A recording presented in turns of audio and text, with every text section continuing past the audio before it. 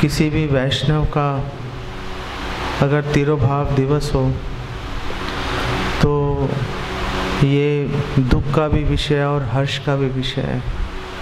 दुख का विषय इसलिए है क्योंकि उस वैष्णव के हम अभी वपु सेवा नहीं कर पाएँगे अभी।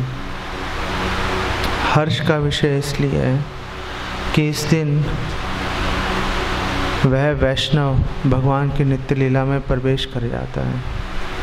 तो ये हर्ष का विषय है।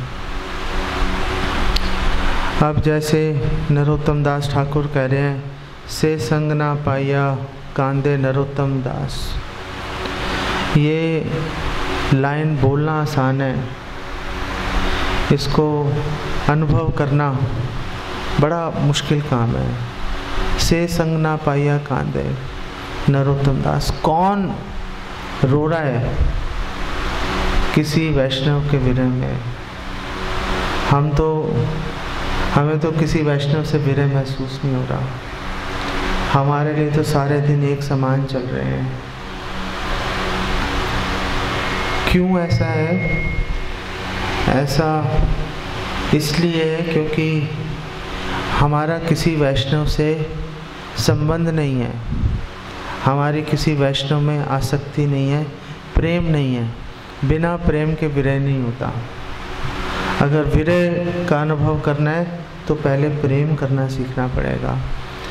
अगर भगवान से विरह का अनुभव करना है तो पहले वैष्णवों से विरह का अनुभव करना पड़ेगा।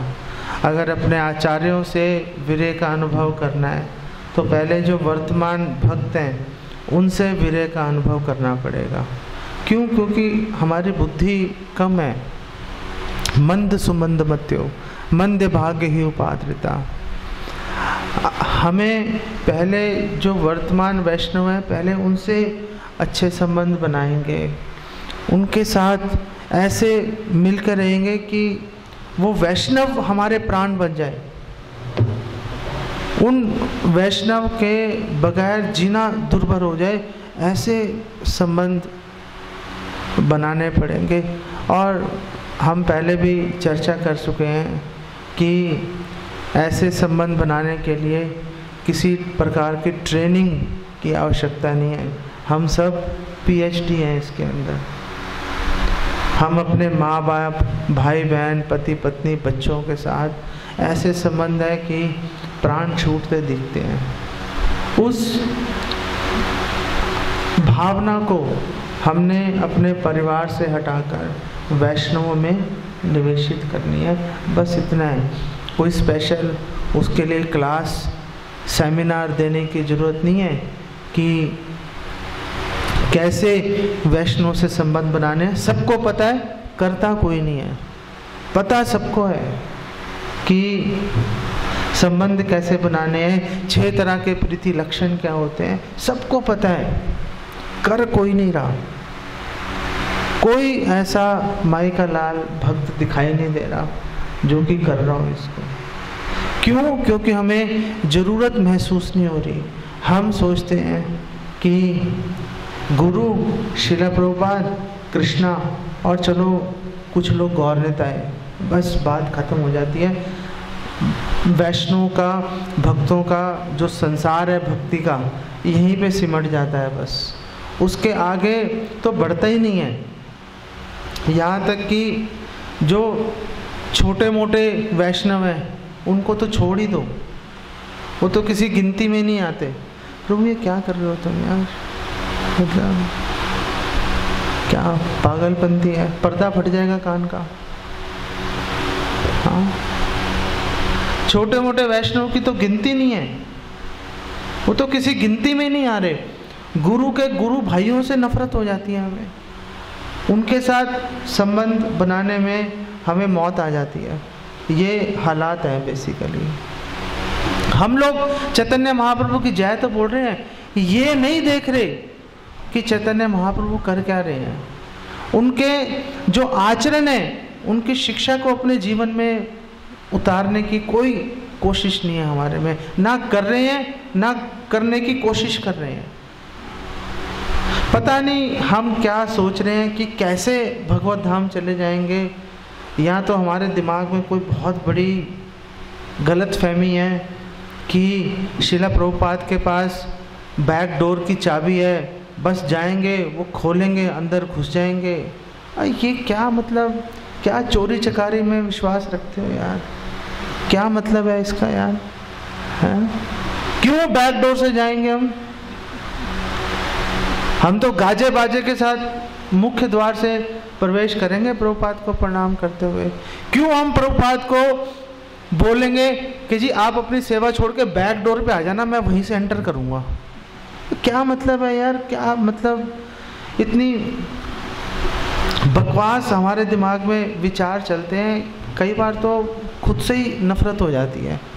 यार ऐसे विचार किसी समझदार आदमी में आ कैसे सकते हैं? मतलब कि बैक डोर से जाएँगे, हम बैक डोर से जाएँगे। अरे भाई, क्यों बैक डोर से जाओगे? प्रभुपाद बोल रहे हैं, अरे भाई, नब्बे नंबर लाने की कोशिश करो तो पचास आ ही जाएँगे।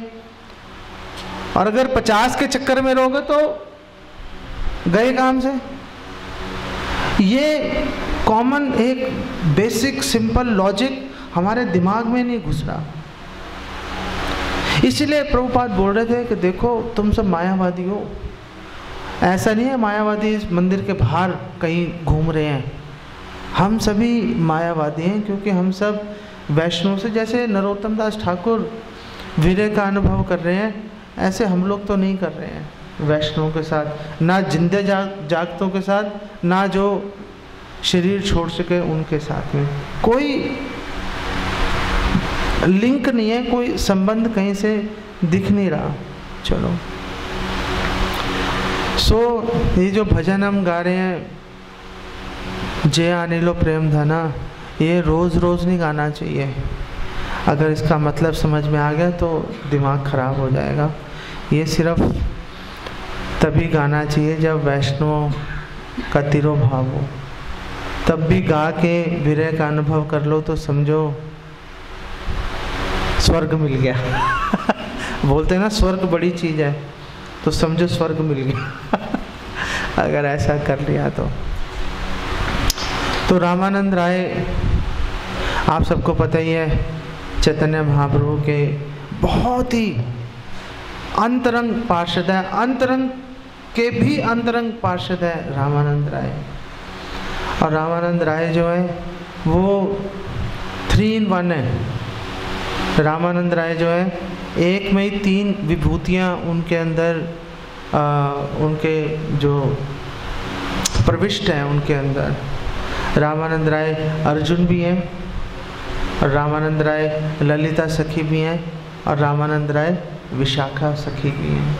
तीनों हैं।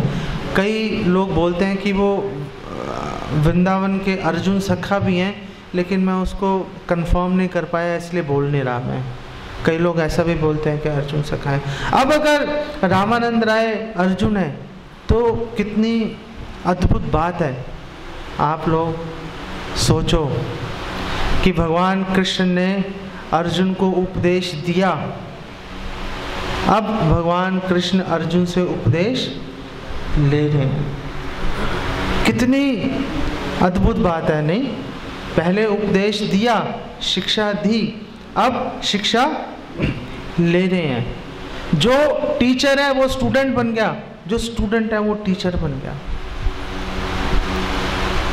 दो कारण है इसके। दो कारण है।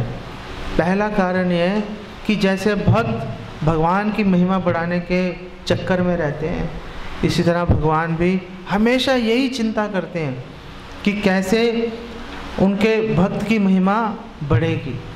उसके लिए भगवान किसी भी हद तक जाने के लिए तैयार रहते हैं। यही कारण है कि चैतन्य महाप्रभु ने शिला ईश्वरपुरी को अपना गुरु स्वीकार किया। चैतन्य महाप्रभु को गुरु की आवश्यकता नहीं है, लेकिन शिला ईश्वरपुरी की जो श्रद्धा थी, जो सेवा थी शिला माधवेंद्रपुरी में, और जो शिला माधवेंद्रपुरी का आशीर्वाद था शिला ईश्वरपुरी को, उसको फलीभूत करने के लिए, उसको फलीभूत करने के लिए चैतन्य महाप्रभु ने शिला ईश्वरपुरी को अपना गुरु स्वीकार किया और कैसे स्वीकार किया, वो भी बड़ी अद्भुत बात है, आज उस पर बात नहीं कर पाएँगे। तो गुरु शिष्य बन गए, शिष्य गुरु बन गए, महिमा बढ़ा दी, महिमा बढ़ा दी लेकिन महिमा बढ़ाने के साथ, महिमा बढ़ाने के लिए सिर्फ़ चैतन्य महाप्रभु ने खुद शिक्षा ग्रहण नहीं की। ऐसा नहीं कि अकेले खुद ही शिक्षा ग्रहण कर ली। चैतन्य महाप्रभु के पास एक बहुत ही उच्च कोटि के ब्राह्मण आए थे, प्रद्युम्न मिश्रा। तो चैतन्य महाप्रभु से उन्होंने बोला कि, हे महाप्रभु प्लीज़ मुझे आप कृष्ण कथा सुनाइए।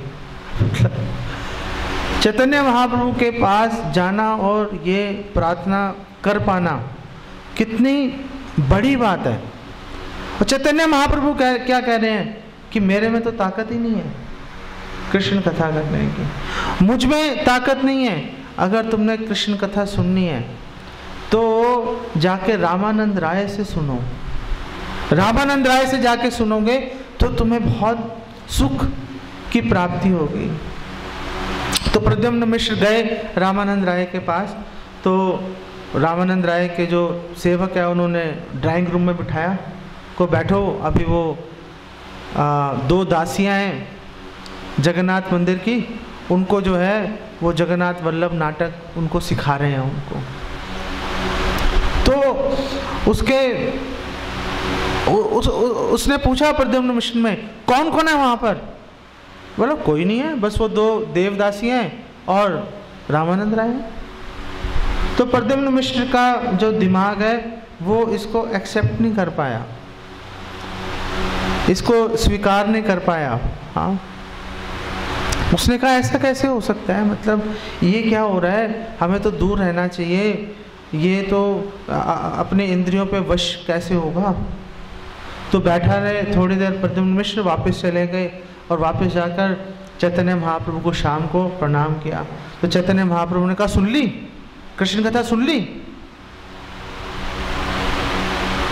तो प्रद्युम्न मिश्र ने कहा, वो तो देवदासियों के साथ में, वो एकांत में उनको सिखा रहा है, उनके शरीर की मालिश कर रहे हैं। पता नहीं क्या हो रहा है। चैतन्य महाप्रभु ने कहा, देखो, जो रामानंद राय कर रहे हैं, वो किसी के बस की बात नहीं है। कि वो इतनी सुंदर देवदासियों को छू रहे हैं, लेकिन मन में विकार उत्पन्न नहीं हो रहा। हम लोग सुंदर स्त्री को देखते ही मन में विकार आ जाता है। सुंदर स्त्री तो चलो छोड़ो यार मतलब स्त्री को देख के मन में विकार आ जाता है। भक्ति सिद्धांत सरस्वती ठाकुर एक कदम और आगे बढ़ जाते हैं। भक्ति सिद्धांत सरस्वती ठाकुर कह रहे हैं, स्त्री को छोड़ दो।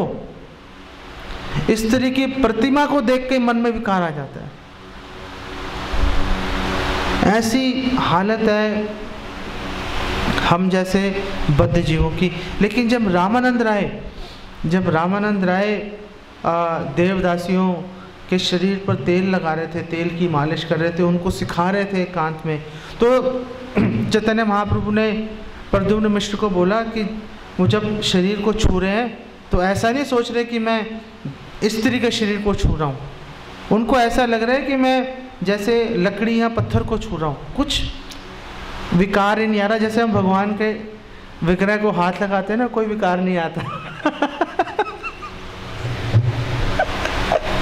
अब भगवान का विग्रह की सेवा करते हैं, कोई विकार नहीं आता हमारे मन में।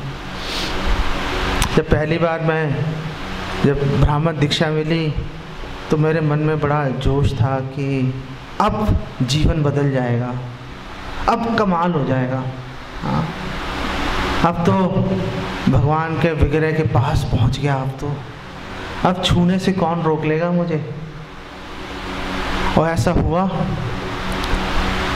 आ, मुझे उपलक्ष्य नहीं पता लेकिन मैं पंजाबी बाग ऑल्टर में घुस गया। और ऑल्टर में घुस गया और मैंने राधिका रमन जी के चरण छू लिया मैंने। कुछ नहीं हुआ। जैसे गया था वैसे ही बाहर आ गया। कुछ नहीं हुआ। कोई रोए नहीं खड़े हुए मेरे शरीर के। बिल्कुल जो काम वासनाएँ लेके अंदर गया था, वही लेके बाहर आ गया। कुछ चेंज नहीं हुआ। भगवान के भक्त बिल्कुल उल्टा चल रहे हैं। भगवान को देखते ही विकार आ जाता है।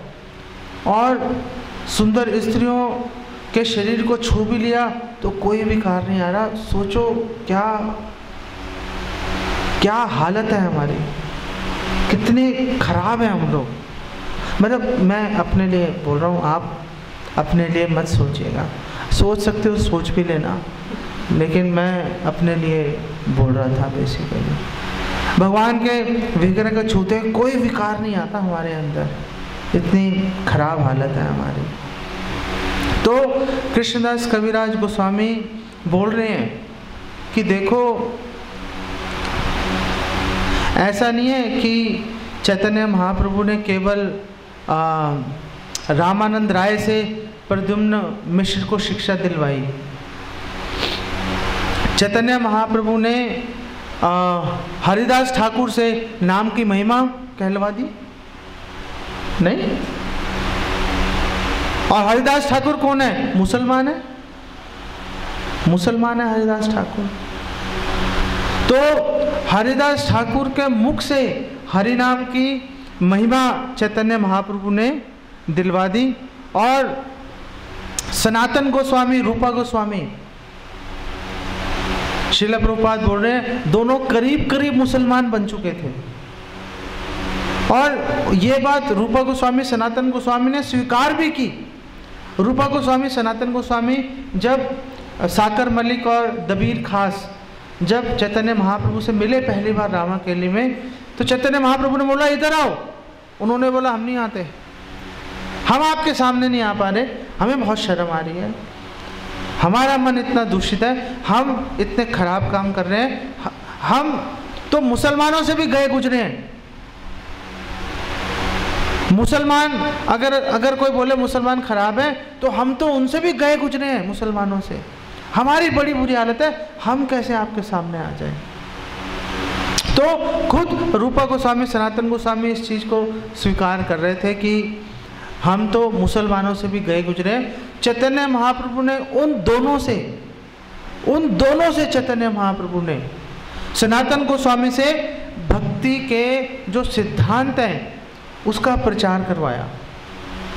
भक्ति के सिद्धांत का प्रचार करवाया और श्री रूप द्वारा व्रजेर प्रेम रस लीला और जो रूपा गोस्वामी के माध्यम से व्रज की प्रेम रस लीला का प्रचार करवा दिया उन्होंने। तो चैतन्य महाप्रभु ने, चैतन्य महाप्रभु ऐसा क्यों कर रहे हैं? चैतन्य महाप्रभु इस सिद्धांत की स्थापना कर रहे हैं, यही कृष्ण तत्ववेता सही गुरु है। जो कृष्ण तत्ववेता है, वो गुरु है। जिसने जनेऊ धारण किया है, ज़रूरी नहीं है। ज़रूरी नहीं है। अगर ब्राह्मण दीक्षित बन गए हो, अपने मन में घमंड मत लेके आना। अपने ऐसा कुछ मत सोच लेना ओ हम तो बड़ी कमाल की बात हो गई। हम तो द्विज बन गए। हम तो ब्राह्मण बन गए। अरे चैतन्य महाप्रभु तो विनम्रता के भूखे हैं। चैतन्य महाप्रभु गर्व के भूखे नहीं है।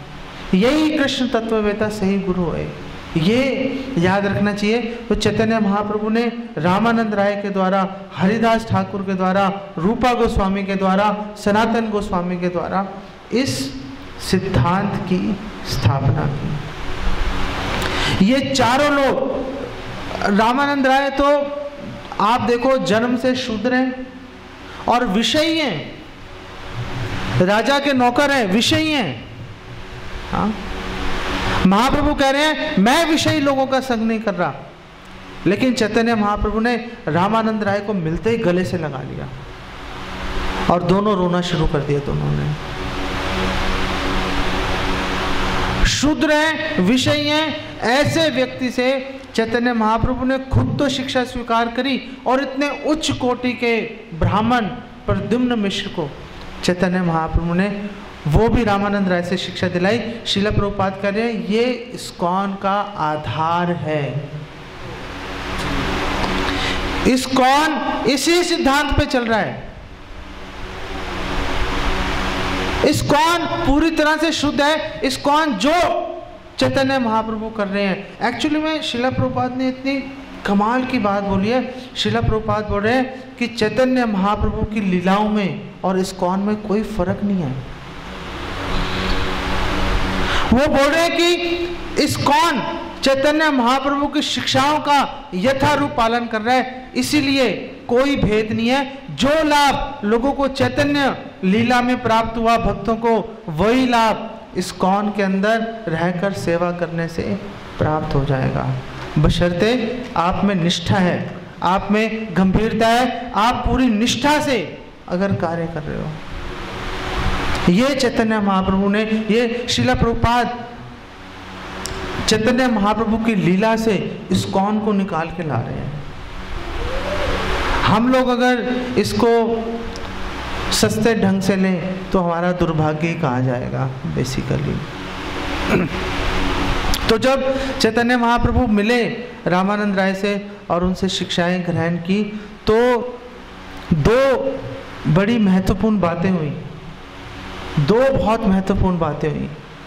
चैतन्य महाप्रभु ने पहले तो रामानंद राय को बोला कि, रामानंद राय, मैं तुम्हारा बहुत कृतज्ञ हूँ।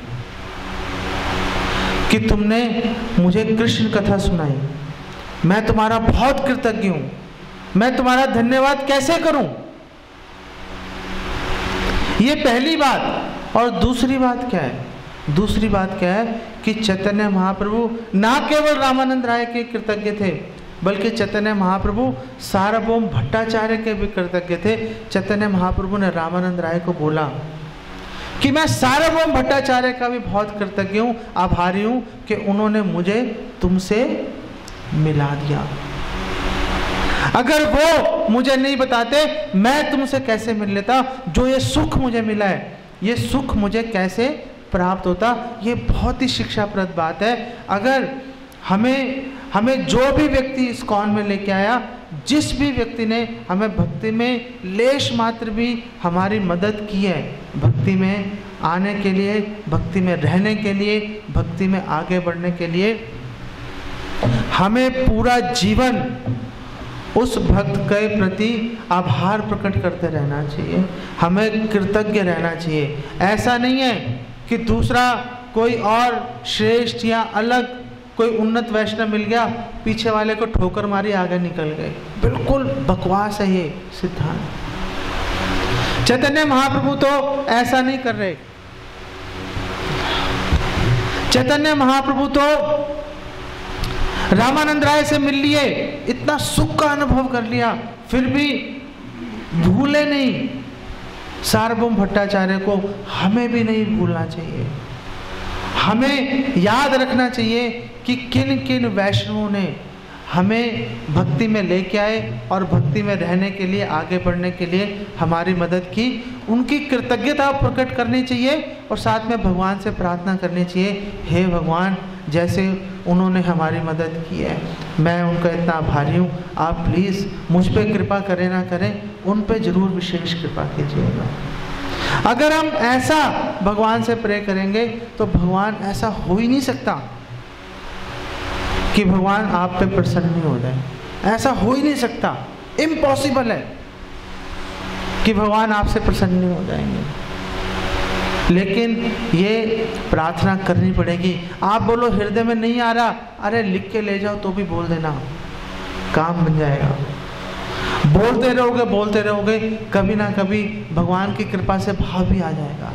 पहले बोलना तो शुरू करो, पहले अपनी कृतज्ञता तो प्रकट करो, दूसरे भक्तों के प्रति। तो बात बनेगी। तो जो चैतन्य महाप्रभु की श्री रामानंद राय से चर्चा हुई, वो चार भागों में विभाजित है। चार भागों में विभाजित है। तो आप खड़े हो जाओ, एक टांग पे।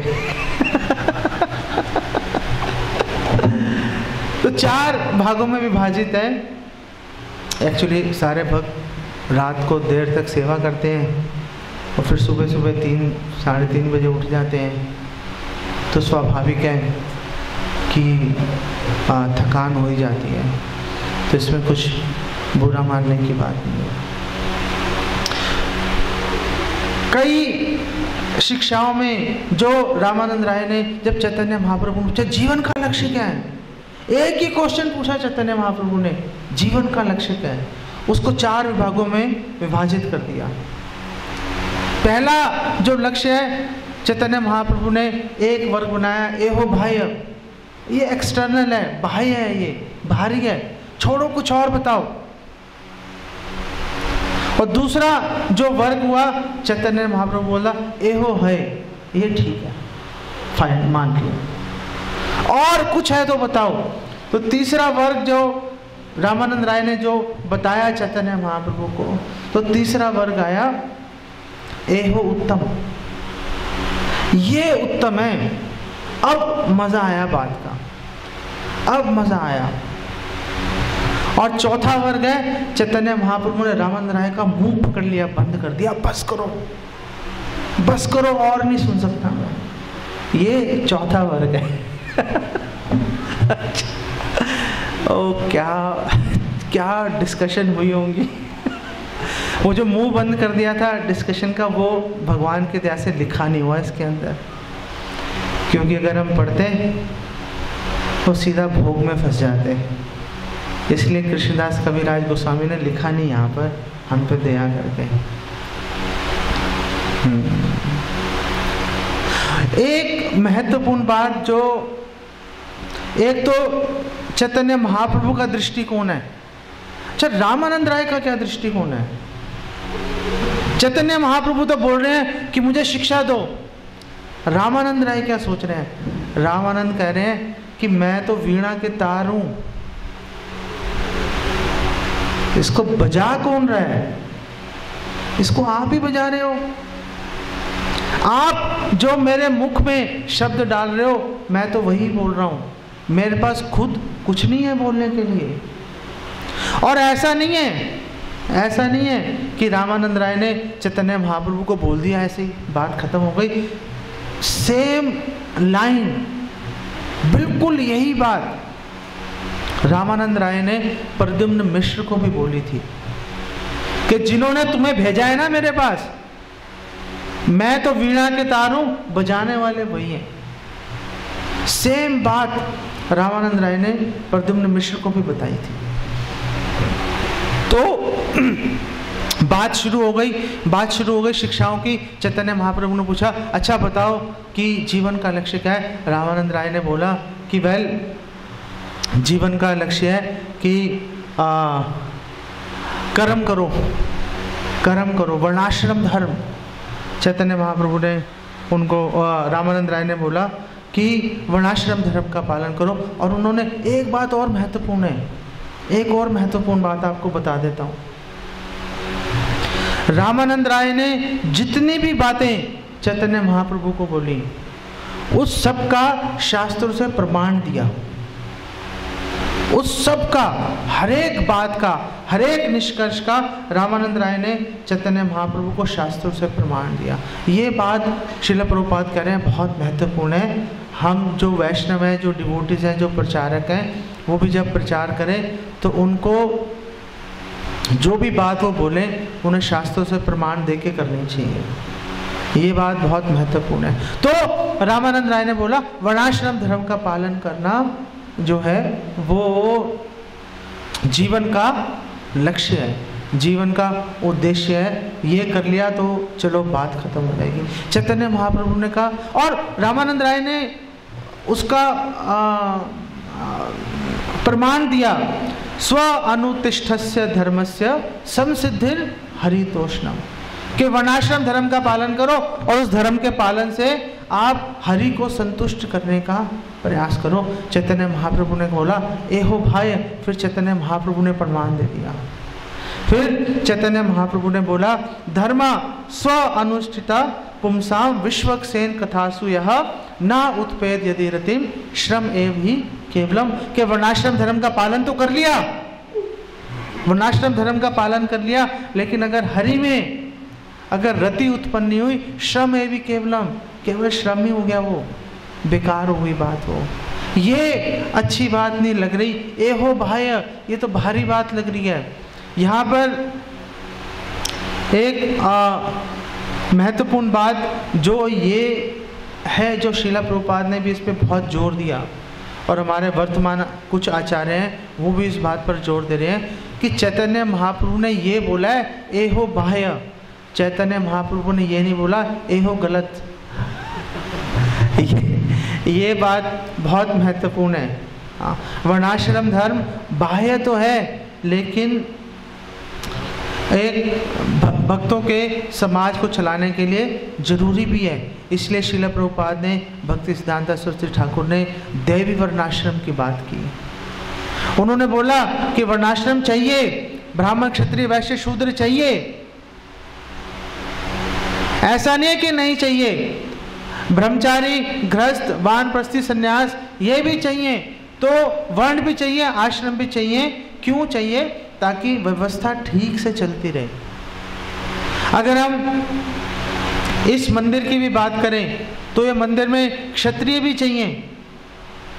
अगर क्षत्रिय नहीं होगा तो मैनेजमेंट कैसे होगी? मंदिर कैसे चलेगा? ब्राह्मण भी चाहिए, शिक्षा देने के लिए वैश्य भी चाहिए, गृहस्थ भी चाहिए, जो कि पैसे लेके आएँगे मंदिर को चलाने के लिए, और शूद्र भी चाहिए, ऐसे लोग भी चाहिए जो मंदिर में सेवा करें। चारों तरह के लोग चाहिए। अब ये चारों तरह के लोगों को चलाने के लिए मैनेज करने के लिए वर्णाश्रम धर्म की आवश्यकता है। तो चाहे ये हो बाह्य लेकिन ऐसा नहीं है, ये हो गलत। गलत है, इसको छोड़ दो। वर्णाश्रम धर्म को छोड़ दो। हम दिव्यता के धरातल पर बात करेंगे। हालाँकि शिला प्रभुपाद एक्सप्लेन कर रहे हैं। शिला प्रभुपाद कर रहे हैं, चैतन्य महाप्रभु ने वर्णाश्रम धर्म इसलिए भी बाह्य बोल दिया था, क्योंकि वर्णाश्रम धर्म तीन प्रकृति के तीन गुणों के अंदर है, लेकिन भक्ति तीन गुणों से ऊपर है। शिल प्रपात बोल रहे हैं। लेकिन साथ ही शिल प्रपात ये भी बोल रहे हैं कि वर्णाश्रम धर्म की ज़रूरत है। वर्णाश्रम धर्म को हम अनदेखा नहीं कर सकते। लेकिन वर्णाश्रम धर्म में फंस जाना, ये भी गलत है। कोई ब्राह्मण बन गया, मैं ब्राह्मण हूँ, कोई सन्यास मिल गया तो उसका दिमाग अगर खराब हो गया, उसका क्या इलाज है? किसी को इस कौन में मैनेजमेंट की सेवा मिल गई, उसके दिमाग में ये आ गया, ओ भैया, ये तो मेरे पास बहुत महत्वपूर्ण पद है। उसी में फंस गया। तो बेकार हो गया। तो वर्णाश्रम धर्म एक माध्यम है। साध्य नहीं है। साधन है। साधन के रूप में वर्णाश्रम धर्म को स्वीकार करना अच्छा है, लेकिन उसको साध्य मानना गलत है। इसलिए चैतन्य महाप्रभु ने बोला एहो बाह्य। फटाफट आपको बोल देता हूँ, लेकिन क्योंकि पूरा नहीं हो पाएगा। उसके बाद, चैतन्य महाप्रभु ने जब बोला, ए हो भाई तो अगली जो बात उन्होंने बोली कि कृष्ण को अपने कर्मों का फल अर्पण कर दो। अपने कर्मों का फल कृष्ण को अर्पण कर दो और उसके लिए उन्होंने प्रमाण दिया, यद करो, यद करोशी यद अशनाशी यद जुहोशी ददासी यद यद तपस्या कौनतया, तद कुरुष्व, मत अर्पणा। कि जो भी करो, उसका फल भगवान को अर्पण कर दो। चैतन्य महाप्रभु ने उसको भी रिजेक्ट करा दिया। चैतन्य महाप्रभु ने बोला ए हो भाई, ये भी भाई है कि आपने, मैंने मान लिया कि जब आप कर्म का फल अर्पण कर रहे हो तो आपने भगवान कृष्ण को परम भगवान तो मान लिया, लेकिन आप कार्य तो भौतिक स्तर पे कर रहे हो। जो कर्म तो भौतिक स्तर पे किया, फिर आपने भगवान को, भगवान कृष्ण को परम सत्ता मानकर अपना फल अर्पण कर दिया तो अभी भी आपका कनेक्शन है। अभी भी आपका कनेक्शन है भौतिक जगत के साथ। इसलिए चैतन्य महाप्रभु ने उसको भी बोल दिया, ए हो भाई उसके बाद रामानंद राय ने बोला कि स्वधर्म त्याग, ऐ साध्य सार, कि अपने धर्म का त्याग कर दो। अपने धर्म का त्याग त्याग कर दो तो वो वो साध्य सार है। और फिर उन्होंने भगवत गीता का चरम श्लोक उन्होंने उद्धृत किया, सर्वधर्मान परित्यज मामेकम शरणमजा अहम तम सर्व पापेभ्य मोक्षे श्यामी माँ शुचा। चैतन्य महाप्रभु ने बोला ए हो भाई ये भी भाई है। कि चलो, तुमने अपने धर्म से आसक्ति छोड़ दी, लेकिन भगवान में प्रेम तो उत्पन्न नहीं हुआ। भगवान को, भगवान के अंदर जो प्रेम जब तक उत्पन्न नहीं हुआ, तब तक उसका क्या करूँ उस बात का? वो भी, चैतन्य महाप्रभु ने उसको भी बोल दिया, ए हो भाई तो अब रामानंद राय भक्ति के अगले स्तर पर चले गए। रामानंद राय ने फिर बात किया, ज्ञान मिश्र भक्ति का। तो पहले शुरू हुए थे कर्म से फिर कर्म मिश्र भक्ति आई, फिर निष्काम कर्म आया, फिर ज्ञान। अब अब जो है, ज्ञान मिश्र भक्ति आ गई। अब ज्ञान मिश्र भक्ति आ गई। तो रामानंद राय ने बोला कि ज्ञान मिश्र भक्ति जो है, ये साध्य सार है। चैतन्य महाप्रभु ने बोला ए हो भाई ये भी भाई है, क्योंकि मेंटल स्पेकुलेशन मटेरियल प्लेटफॉर्म पर चलती है, भौतिक स्तर पर चलती है। ए हो भाई इसको भी छोड़ो, कुछ आगे है तो बोलो, मेरा मन कुंठित हो रहा है, कुछ और बताओ, कुछ और बताओ। रामानंद राय ने बोला, ज्ञान शून्य भक्ति। ऐ साध्य सार, ज्ञान शून्य भक्ति। अब चैतन्य महाप्रभु अगले वर्ग में आ गए। चैतन्य महाप्रभु ने बोला, एहू है। अब चैतन्य महाप्रभु ने बोला कि हाँ ठीक है, अब बात समझ में आनी शुरू हो गई। अब कुछ और बताओ। तो रामानंद राय ने फिर उसके आगे रामानंद राय रामानंद राय ने बोला कि देखो, इसके आगे तो फिर प्रेम भक्ति आ गई। प्रेम भक्ति सर्व साध्य सार। चैतन्य महाप्रभु ने बोला, ए हो है, आगे बोलो आगे बोलो फटाफट, और बताओ क्या है तुम्हारे पास? तो फिर रामानंद राय ने बोला कि दास्य भाव में भक्ति दास्य भाव में भगवान की सेवा करना यही साध्य सार चैतन्य महाप्रभु ने बोला ए हो है आगे बताओ, और क्या है तुम्हारे पास? दास्य भाव में भी चैतन्य महाप्रभु, उससे भी आगना आगे जाना चाहते थे तो चैतन्य महाप्रभु ने बोला, देखो दास्य भाव में भय का भाव होता है, दास जो है, स्वामी से डरता रहता है, इससे आगे कुछ है तो बताओ। तो फिर फिर रामानंद राय ने बोला, साख्य भाव, ऐ साधन, ऐ साध्य सार। जो साख्य भाव है, ये साधन का सार है। अब चैतन्य महाप्रभु अगले वर्ग में आ गए। चैतन्य महाप्रभु ने बोला, ऐ उत्तम। ए उत्तम, ये उत्तम बात कर दी। अब भय खत्म हो गया। अब भय खत्म हो गया। अब बात थोड़ी सी अच्छी लगनी शुरू हो गई। अब तुम उत्तम के वर्ग में आ गए हो। इससे आगे कुछ है तो बताओ। क्या इससे आगे कुछ है तुम्हारे पास? तो रामानंद राय ने फिर बात की, वात्सल्य भाव की। रामानंद ने कहा कि वात्सल्य भाव के अंदर भगवान की सेवा करना, भगवान की भक्ति करना, यही साध्य सार है। चैतन्य महाप्रभु ने कहा, बहुत अच्छी बात है, लेकिन इसके अंदर भी स्वामित्व की भावना है, ममत्व की भावना है, ये मेरा है। इससे आगे कुछ है तो और बताओ। तो रामानंद राय ने फिर बात की, कांता रस की, कि जो कांता रस है, यही साधन सार जो गोपियों का प्रेम है, यही जो है सारे साधनों का सार है। यही जीवन का परम लक्ष्य है। चैतन्य महाप्रभु ने कहा, इससे आगे भी कुछ है? अब रामानंद राय आश्चर्यचकित हो गए। रामानंद राय ने कहा, मेरा इतना जीवन बीत गया। इसके आगे, आज तक कभी किसी ने नहीं पूछा कि क्या इससे आगे कुछ है या नहीं है। तो रामानंद राय ने फिर बोला कि गोपियों की भक्ति से श्रेष्ठ है श्रीमती राधा रानी की सेवा। चैतन्य महाप्रभु ने कहा, और सुनाओ और सुनाओ और सुनाओ, मैं और सुनना चाहता हूँ। तो फिर रामानंद राय ने चैतन्य महाप्रभु को, श्रीमती राधा रानी के भावों को प्रकट किया। श्रीमती राधा रानी और और भगवान कृष्ण की लीलाओं के बारे में चर्चा की। तो चौथे वर्ग में आ गए महाप्रभु। महाप्रभु ने उनका रामानंद राय का मुँह बंद कर दिया। उन्होंने बोला, अब और मत सुनाओ, अब मुझसे सुना नहीं जा रहा तो ये जो शिक्षाएँ, ये जो शिक्षाएँ और ये सारी शिक्षाएँ, ये सारा प्रसंग चैतन्य चरतामृत के मध्य लीला के आठवें अध्याय के अंदर लिपिबद्ध है। आप में रुचि होगी तो पढ़ लेना जाके। अगर रुचि हो तो पढ़ लेना, नहीं तो कोई बात नहीं। जीवन चले जा रहा है। कुछ प्रॉब्लम नहीं है। कुछ नहीं होगा तो दोबारा तो जन्म ले ही लेंगे। वो तो है ही है। वो कौन छीन रहा है? बार बार जन्म ले ही लेंगे।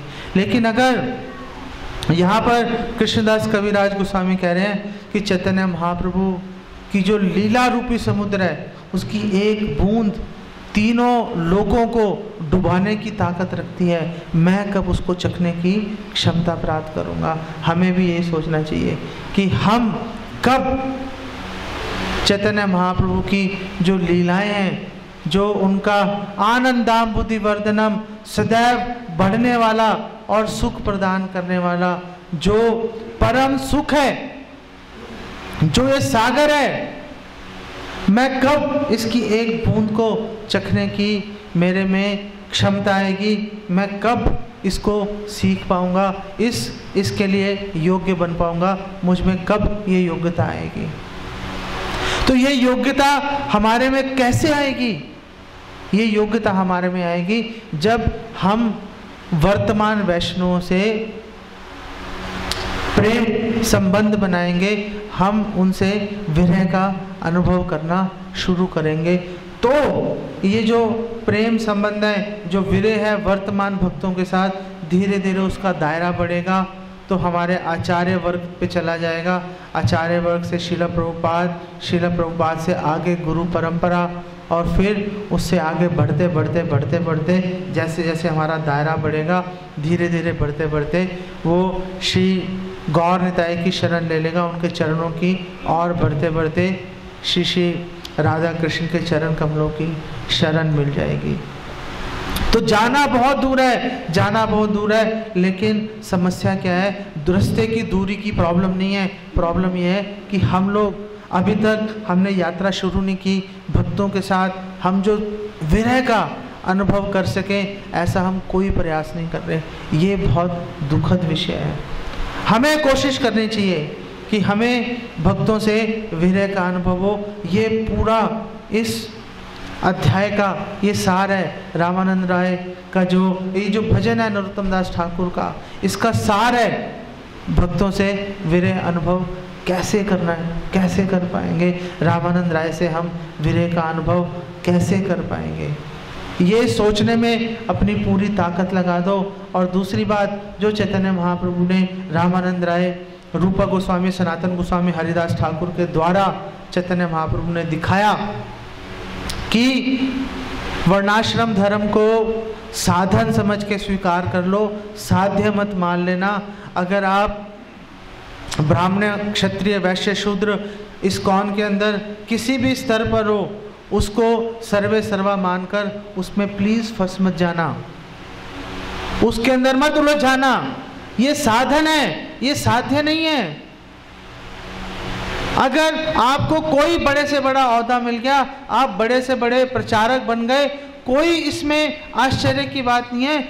भगवान की शक्ति से सारे काम हो रहे हैं। आप इस वर्णाश्रम को भगवान की सेवा में लगा के आगे बढ़ जाओ।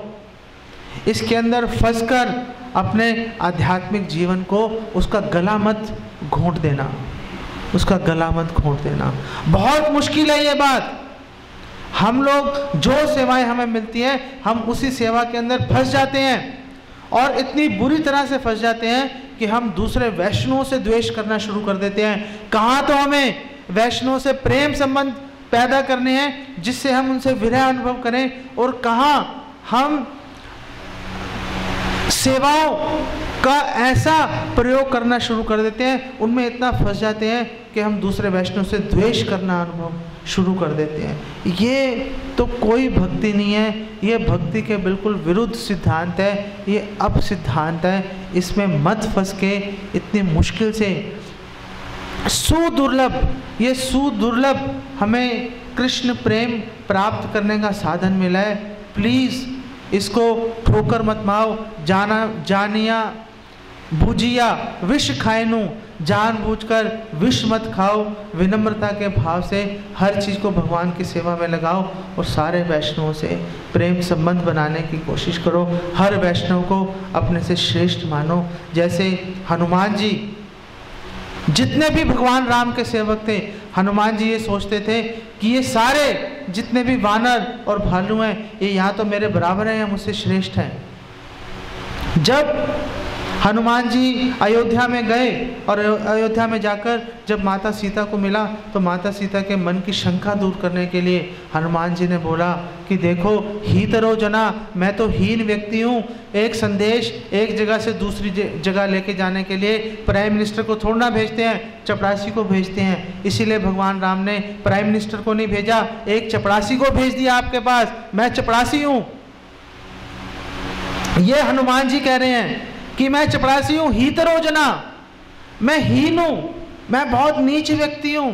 तो आप सोचो कि जब एक नीच व्यक्ति यहाँ तक आ गया तो भगवान राम की जो बाकी सेना के जो लोग हैं, जो मेरे से बराबर या मेरे से श्रेष्ठ है, उनके लिए यहाँ आना कौन सी बड़ी बात है?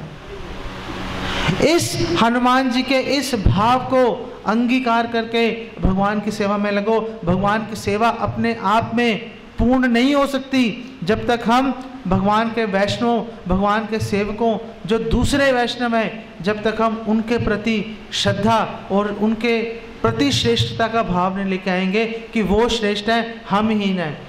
अगर हनुमान जी ऐसा सोच सकते हैं तो हमें क्या समस्या है? हम क्या हनुमान जी से भी बड़े हैं? हम क्या हनुमान जी से भी श्रेष्ठ हैं? हमें ऐसे सोचने में कोई समस्या नहीं है। अगर हम ऐसा नहीं सोच रहे तो केवल और केवल हमारे अहंकार के कारण है। अहंकार को त्याग दो। ये अहंकार है जो हमें कृष्ण प्रेम प्राप्त करने से रोक रहा है। ये अहंकार हमारा दुश्मन है। इसको मित्र समझ के अपने गले मत लगाओ। ये आपके गले लगकर आपकी पीठ में छुरी मार रहा है। पहचान लो, इसको छोड़ो और दूसरे वैष्णव की शरण स्वीकार करो। उनसे बार बार माफ़ी मांगो। कुछ कारण नहीं है तो भी वैष्णव से माफ़ी मांगते रहो कि अगर मेरे से कुछ अपराध हो गया हो प्लीज़ मुझे क्षमा कर देना। ऐसा बोलने से आपको कोई हानि नहीं होगी। आपका गर्व ज़रूर टूटेगा, अहंकार पे चोट आएगी, लेकिन व्यक्तिगत रूप से, शारीरिक रूप से आपको कोई हानि नहीं होगी। भक्ति में तो प्रकृति ही प्रकृति है।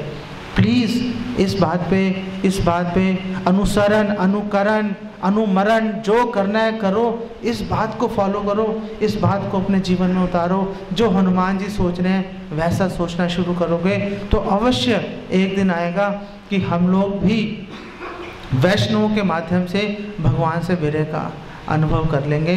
और रामानंद राय कह रहे हैं कि यही साध्य सार है। हरे कृष्णा। तो आपका इस विषय में अगर कोई प्रश्न है या कुछ? हाँ। हाँ? भक्ति का सिद्धांत है वैष्णव से विरय का अनुभव करना। ये भक्ति का सिद्धांत है। वैष्णवों से ऐसे काम करो कि हमें वैष्णवों से विरय महसूस होना शुरू हो जाए। पूरा अपनी चेतना इसी में झोंक दो। तो देखना भक्ति में कैसे आगे बढ़ोगे? ये भक्ति का सिद्धांत है। ओके? वैष्णव की वास्तविक परिभाषा क्या है? वैष्णव की परिभाषा है जो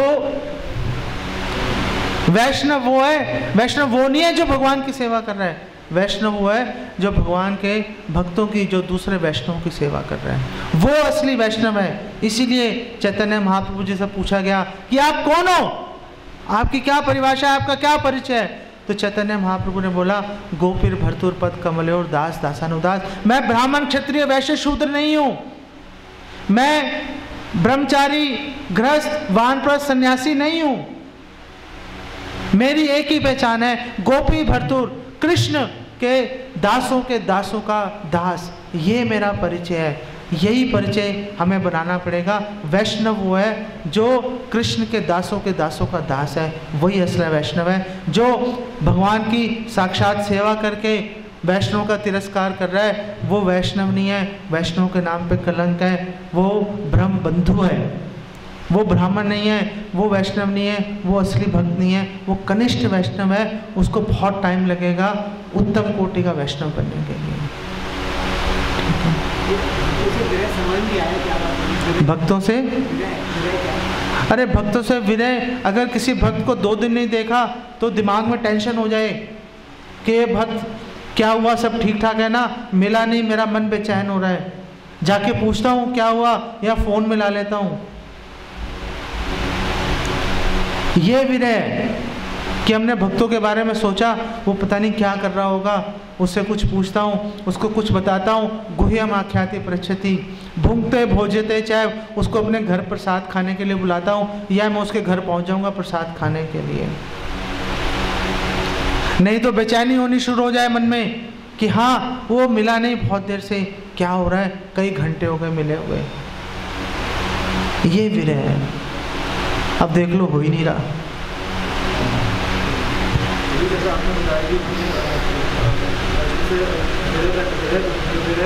अनुभव करना चाहिए जैसे हम लेकिन हम सोचते हैं कि मतलब हमें जितना कि भगवान से हर कृष्ण का स्मरण करेंगे तो में कृष्ण मतलब जिसका स्मरण करेंगे वो हमें प्राप्त होगा तो अगर हमें अरे अंत काल में कृष्ण का स्मरण कराएगा कौन?